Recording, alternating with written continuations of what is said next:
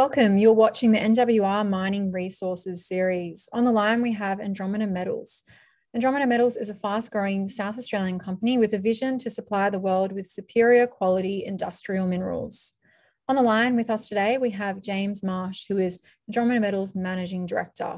If you have any questions throughout James's presentation, please feel free to drop them in the chat function. Over to you, James. Yeah, thanks for that introduction and hello everyone. Welcome to Andromeda. Uh, as you heard there, we are an emerging industrial minerals producer, um, but we also have a number of other value chains, which makes us more interesting than the average industrial minerals player. Um, sorry, my slide. Slight hand, hiccup with my slide here, sorry. Um, next slide is, here we have a corporate overview. So at the moment, we are market cap sitting around about uh, 360 million. Um, we've got a lot of money in the bank and no debt. So a very strong position there. Um, you can see the board member makeup. We have a, board now of very experienced individuals um, who have been selected especially for uh, our company structure and our aims and goals.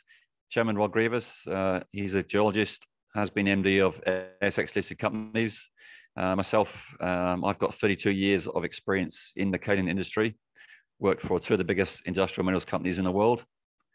Joe Ranford, Operations Director, uh, very experienced mining, um, a mining engineer who's dealt with uh, a number of companies in South Australia.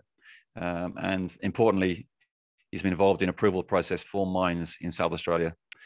Uh, Andrew Shearer, another geologist uh, who's a resource analyst. Uh, and we recently added Melissa Holzberger to our board, uh, and she's a very experienced lawyer who specialized in mining companies, uh, including uh, BHP and Rio Tinto. So a very useful addition to us as we grow. Um, there's a graph there to show our share price um, over the last uh, year or so. Uh, we are following a, a typical curve for a mining company that's going has a mining project going to operation. So there's been a bit of a dip recently, but that's not unusual for a pre-operation pre-operational phase for a mining company. So our core assets, um, we are focused uh, on our kaolin and halloysite kaolin project, which is uh, consists of a Great White project, which is a joint venture with Minotaur Exploration, uh, currently sitting at 75% uh, Andromeda. We also have two other kaolin projects and halloysite kaolin projects in South Australia, uh, which are both 100% owned. That's Mount Hope and Eyre Kaolin.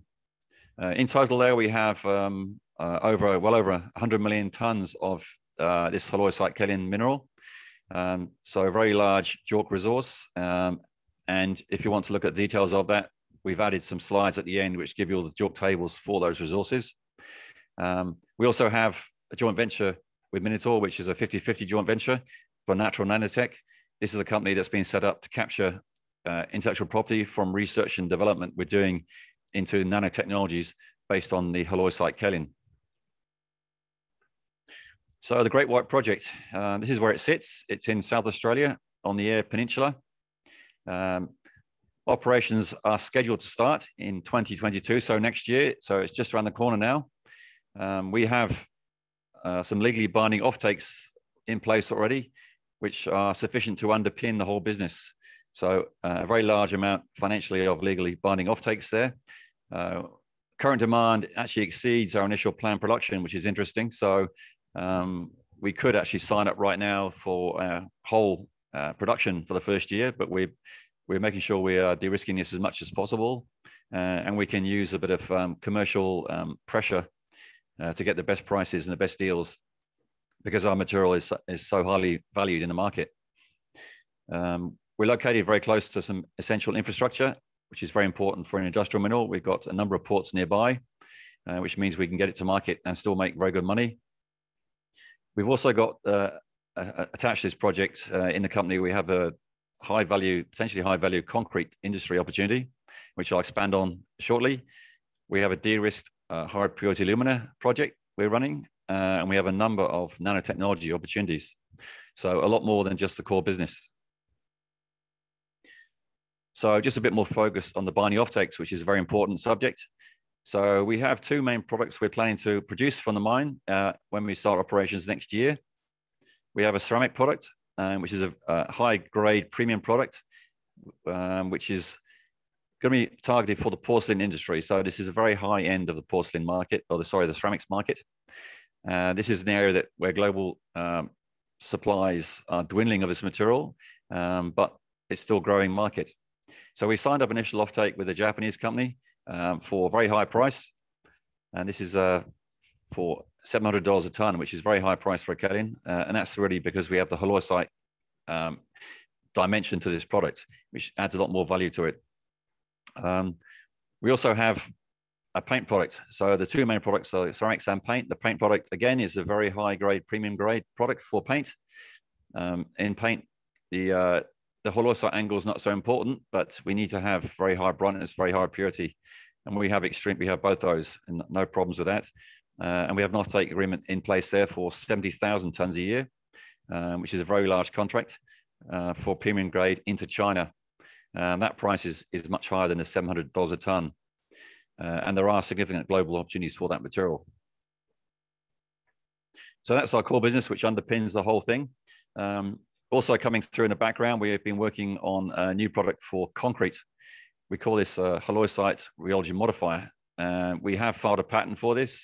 Um, it's a new product, a new application for this material. No one else has done it before uh, for this particular um, concrete, um, these concrete benefits. So at the moment, what we're seeing is the, some very interesting benefits. And by changing the rheology and optimizing the rheology, uh, it can allow all sorts of interesting uh, optimizations, uh, as in higher strength, reducing the carbon footprint, better handling, and better safety. So all very desirable uh, benefits there. Um, now we're seeing these um, repeatable in multiple tests. Uh, we now moved through to the commercial testing phase of this, and we have some very large commercial companies who are interested in this material. Uh, and we are, in fact, at the moment drilling bulk samples uh, of this. So ton amounts of this material are being taken out of the ground to progress those uh, that testing through to commercial agreements. The key for making this product work is it only needs about one kilo in, in three tons of concrete, one cube of concrete. So very low dosage, uh, which means we can get a high price for this material. Um, it won't affect the overall price of concrete much at all, uh, but it gives a whole lot of very interesting and desirable benefits, especially now with the, the big push around the world to reduce carbon footprint. So here we have um, a huge potential global market, um, but also some very interesting domestic opportunities as well. Uh, and we have passed the concrete standards already for this material has gone through those. So it's fit for purpose, fit for use. As soon as we have it um, commercially approved by an offtake partner and we have a resource uh, of the material, then this can move ahead quickly. On the nanotechnology side of things, um, this is where the research and development uh, is, is being carried out. So ourselves and Minotaur are spending um, over 1 million tons a year on this research because there's such exciting opportunities behind this. This research is focused on the halloysite part of the kaolin. This is the natural nanotubes that we have in the ground. Having natural nanotubes gives us a, a, a huge head start on all sorts of other alternative technologies. Uh, so at the moment, we are looking at a number of projects and progressing those as quickly as possible towards com commercialization. Uh, we have patents filed uh, patents have been filed uh, in the area of carbon capture, storage, and conversion to fuel in batteries and supercapacitors and water purification. Um, we're currently working on a second suite of patents, uh, and the other projects were, which will be, will be covered by that are in agriculture, where we've secured 2.4 million tons of government funding for a project there. Um, we also have medical applications we're working on, hydrogen storage and transport, and remediation of soils. So all in all, there's 12 different projects running. Um, the carbon capture one is moving ahead most quickly at the moment because we are rapidly working towards having a pilot plant working to demonstrate that, um, that technology. The good news is that our our halloysite kaolin that we have in the Great White Resource is working well in these in these um, in these new opportunities, uh, and that's only at 40% of the halloysite in the halloysite kaolin. Uh, so it's going to get better and better as we increase that percentage. Uh, and the bulk sampling we're doing right now, we're targeting an area of much higher halloysite concentration. Um, and a new area that we're, we're, working on in the background is also in cosmetics because we found that this material uh, is very desirable for cosmetic uh, approvals. Again, the halloysite is highly desirable here. Uh, and that is another huge potential market with a very high value. So a bit more detail on the carbon capture plant. This is becoming a very hot topic with the uh, with the global warming situation and climate change, and we're getting interest from all sorts of parties now in this technology. So what we're doing is we're building a, a plant, and you see on the right-hand side there, this is the plant we are building. Uh, it, has been delayed by COVID, unfortunately, because the uh, main components were coming from India, um, but they are on the way now, and we're looking for um, operations in December of this year. That plant will be able to capture uh, large amounts of carbon dioxide and convert it to a fuel, clean fuel, which very importantly closes the whole loop on carbon dioxide. Uh, and it's based on halloysite technology. We produce a, a, matrix from the halloysite, which has got very high absorbent capability. Uh, it goes into this plant, and this plant will uh, cyclically absorb, release, and convert the, the, CO2. So our aim is to get this working uh, and show people that uh, we can capture carbon dioxide either from the air or from uh, exhaust gases for less than $20 a ton, which is a very low number for that process. and if we get that and we succeed in that, then this will be um, very exciting technology. We also have the high purity alumina project. Uh, uh, for those of you who don't know what high purity alumina or HPA is, this is recognized as a key uh, material or mineral for batteries uh, in, in lithium ion battery production. It's, uh, it's forecast to grow in demand dramatically, um, but there was a big shortfall in supply. Now you can make this from kaolin, um, and importantly for our halloysite kaolin, you can make it um, much more easily and at much higher purity. Um, I'll give you an example of uh, what we mean is normally you'd need 10 tons of kaolin to make one ton of HPA at the right purity. Uh, and work we've done has shown we can probably do it from about three tons of our material. So we've got a big advantage there. We spent three years working on this um, without saying very much. Um, recently, we signed up uh, an MOU though with a company that has a plant, an operating plant in Canada. Uh, and we have now exclusivity to their technology for a for Australia and New Zealand. Uh, they're working towards building a new plant in the UK, which has been supported by government funding in the UK. Uh, we're looking to replicate that in Australia. Um, but also, we have engaged uh, a truly world-class team of metallurgists in this space, um, over 100 years of experience between them. Um, and we're getting a lot of very good, interesting um, advice, and we're working towards some, some very interesting optimizations for this whole process. So what's next for us? Um, next year is going to be a big, very big year for us. Um, but before then, uh, we will phase, we will sell out uh, all of the plant, first phase, which is uh, approximately 116,000 tons of product coming out of the plant. Um, as I mentioned before, we could do that right now. We've got people lining up to sign up for that, but we're making sure we choose the right partners uh, and make that as attractive as possible. Um, because also coming up very rapidly now is our definitive feasibility study, um, leading to a bankable feasibility study. So those two are well in progress, um, due for release in the, the last quarter of this year, which is very close now. Um, and on the back of those, so once those are done, um, we will be able to move forward the debt funding situation very quickly. So we're in a very good position now. We don't need to raise any money for a very long time now, if at all. Um, and once the DFS is finished, um, that's the final um, final hurdle to getting uh, to the banks uh, for, for debt funding talks. We are now in already in negotiations with several banks around the world uh, on debt funding. And once that DFS is done, then um, we will find out how much we can get and uh, to finalize our requirements for the mine. Um, the mining approval, again, that's going through um, the process with the government. Uh, it's, it's, going very, very successfully. Uh, we finished the public consultation phase. Uh, we passed that one and it's been published on the government website. So we're just waiting for our mining conditions to come through now. They should be due, uh, they're due to come through next month. So next month we'll get our mining conditions, um, which means then we just have to work out the uh, environmental mining plan with them. Um, and that's just a matter of, of, a process that we have to go through. So that's also progressing well. Um, also on the horizon there, we're looking at the high purity uh, halloysite material. This is what's being dug out of the ground at the moment. Um, we have ways of purifying that. We have a, a $1 million pilot plant um, that we can use to process the material to get high purity halloysite. And we believe that we can get some very high levels of percentage there. We already have the highest halloysite found in Australia at the moment uh, and in quite large amounts. So that's a project we're working on. We're pushing the concrete product through to commercialization. Um, that's looking very exciting. And at the moment, the results are actually exceeding expectations in there. So that's excellent. We have some additional resources to tack on. Uh, I mentioned we have over 100 million tons already. Um, we have drilled and tested a lot more material in different uh, different resources. We just have to model those when we get time, and we'll add those on. Uh, we look at commercializing nanotechnology as quickly as possible, uh, and as probably the carbon capture first, as I mentioned. Also, we've finished our studies into high purity alumina, and we'll make some more um, release some more news on that as we move forward. Um, in the background, we have the opportunity for uh, direct shipping um, ore. So there's such a big shortage of this material in the world um, and especially in China, that we have four major companies now who want our ore unprocessed. So we just have to work out, um, first of all, if we want to do that, and if we want to do it, how much money we can make from doing that.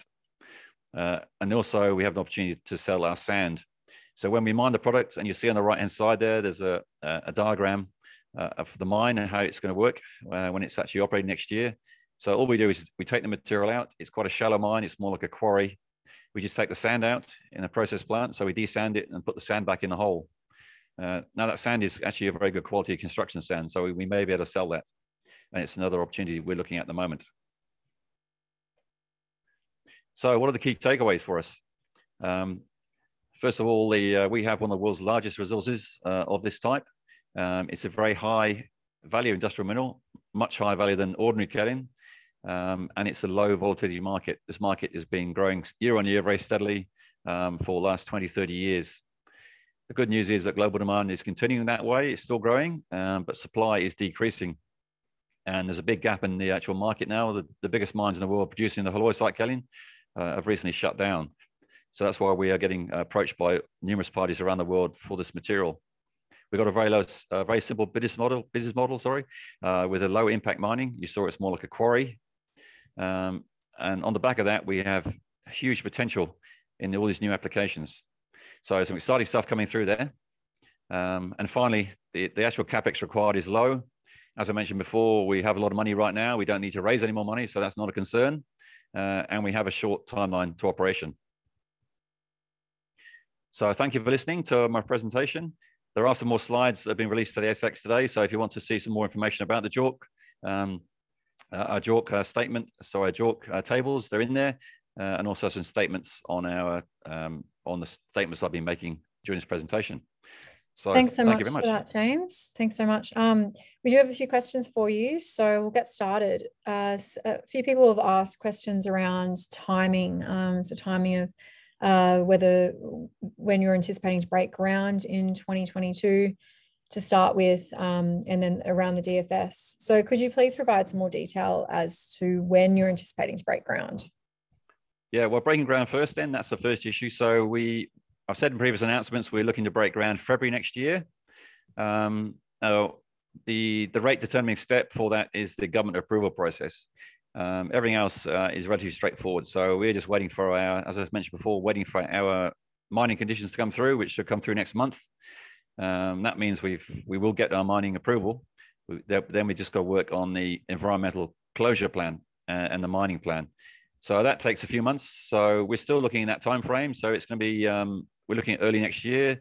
Um, now, if the government process goes very smoothly, that's exactly where we'll land. Uh, if it takes a little bit longer, then we'll be um, sort of probably second quarter next year. So it's around about that time. Mm-hmm. Uh, in the scheme of things, it's actually very short term now.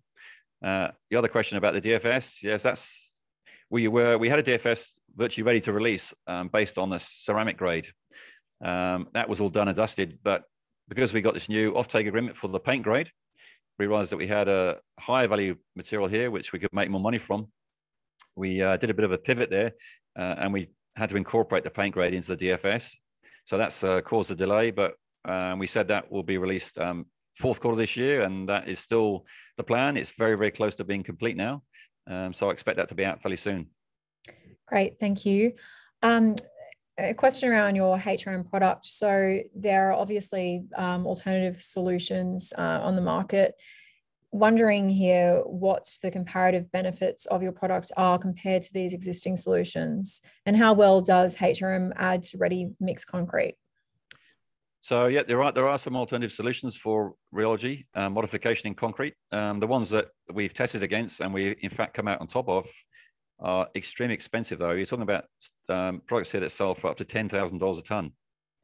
Um, now we can match that performance with our material, um, but those materials, because they're so expensive, um, they are in a niche area, uh, and only used when they actually have to be used because they add too much cost to a concrete. So we positioned our HRM to have the same benefits, um, but to be supplied, be able to be supplied at a much lower cost, which means it can be used right across the board in all concrete applications. Uh, and it can add uh, value to all those applications by when you change the rheology, you can uh, do things like you can add more coarse material uh, and less fine material, and less that means less water and less cement and less chemicals. So there's all sorts of optimizations there you can actually make um, by getting a much more efficient rheology. So we're working on that now, and we're having a product. Our aim is to get a product that can be used across the board uh, in all concrete without affecting the cost to the concrete producer too much, um, but give them lots of benefits. How advanced are your discussions on the commercialization of the concrete product? Um, someone's asking specifically here, if that if that market could take all Great White production. So at the moment, we haven't. We're not incorporating that in our in our in our DFS. Um, the reason is that we want to. There's two things we have to do. We have to get commercial agreement signed up, and we have to get a proper resource on that material because the HRM material itself um, is a bit different to our normal run of mine material. It's actually our more like our waste material. Um, because color is not important and some impurities aren't important uh, in the HRM, that material, a lot of it was going on our waste tip. So we're just going back to test um, those areas to find out uh, how much we have so we can get a JORC resource on that material. Um, but as soon as we have a JORC resource on that material, then um, I'm confident we'll get this uh, agreement signed up very soon because um, there's, there's people chasing pretty hard for that material. Um, and now, there's a lot of interest now in that sector because anything that can reduce carbon footprints for uh, materials that involve cement uh, are very exciting. So we can certainly do that, and um, it's just a matter of getting that resource done now, and we you know um, we'll we'll get something signed up. Jumping over to uh, your ceramics product now, so from concrete to ceramics, how much demand today is is there in Asia for the ceramics product? So the demand for that is is very strong because the halloysite kaolin, which is the unusual uh, material we have, um, the biggest mine in the world was in China, and the second biggest was there, and they've they both closed up, no more production. So there's a, a, big demand there, but they've got nothing to process at the moment, nothing to use. Um, so we've got at the moment we've got um, about 80 85,000 tons um, of our initial um, production signed up, um, but we've got people chasing far more than the balance we have left um, who are actually ready to sign up now. As I mentioned before, though, we want to make sure that we have this de-risked to the maximum level before we actually go into operation. There's no massive demand now to get more offtake signed up right now because we have enough that secures the business. So that's actually enough to get debt finance from the banks if we want. Um, so what we sign up now is just um, a bonus to that. Um, it's quite clear that we got demand from not just China, though. China's the biggest consumer by a long way, but we've got this um, got to sign up signed up a contract already in uh, Japan. We've got and we've got um, a big demand from um, indicated from India, um, Taiwan, Thailand um, at the moment, uh, and also other countries in that region. So the Asian demand is very strong. So our plan is to go double capacity after this after year two. Um, so we'll be looking to sign up um, double the capacity from year two onwards. And just quickly to wrap up, James, we're jumping back to uh, concrete now, as you've piqued a lot of interest there. Is there capacity to sell pure halloysite straight from the Streaky Bay pilot plan to willing customers? Well, the good thing about the um, this uh, HRM product is that we could probably sell that as an ore and it would work well. Um, the only contaminant there is, of course, is sand, and sand uh, is a construction sand, so it would work in those applications. So we could potentially just sell that material straight from the ground for now thousand dollars a ton plus, which is would be a fantastic result for us. Um, we could process we could process it though and just take the sand out. Um, very very basic process. So put it through a half mil screen would be enough, um, and that will give us a product that would sell for more. So it's um, the, the, the pilot plant at Streaky Bay is it's a it's a large we have a large centrifuge there which we source from Imerys, which is the biggest kaolin producer in the world. Um, that will be we're aiming to produce 80 90 percent pure purity halloysite in that. Now that's going to be going straight to the carbon capture plant um, for commercialization of that process.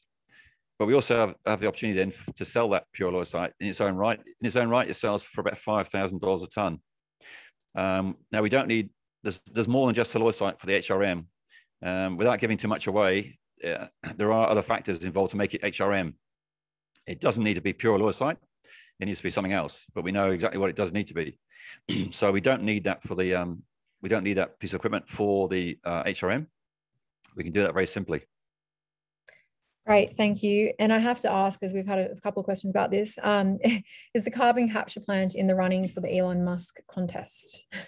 well, let's say it passes all the um, it passes all the uh, uh, criteria for that for that uh, competition. It's not officially entered yet because we wanted to find out. Due to COVID, it was slowed down the actual manufacture of it. But I can say that once it's in and operating, that could well be one of the things we target. Um, although having said that, we have some very large, interesting companies already uh, who want to get involved in that project. As soon as that's operational and we can show them the demo plant, they're keen to get involved. Awesome. We might leave it at that for today. Uh, thank you so much for joining us today, James. Thanks for your time. Thanks, everyone.